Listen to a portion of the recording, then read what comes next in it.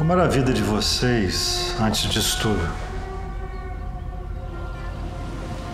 Normal. Quando era normal. Minha mãe ficou meio diferente depois que meu pai.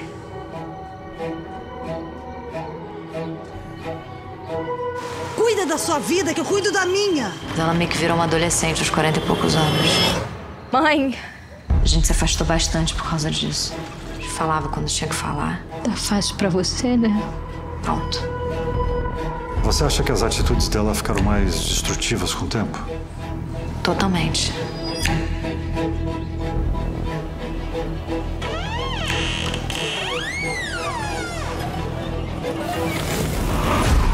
A resposta para isso que vocês estão vivendo agora talvez esteja no passado.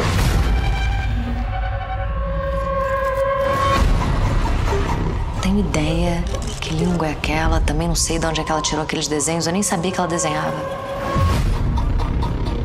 Eu quero saber o que, que isso quer dizer, por que, que ela tá escrevendo essas coisas, que língua é essa.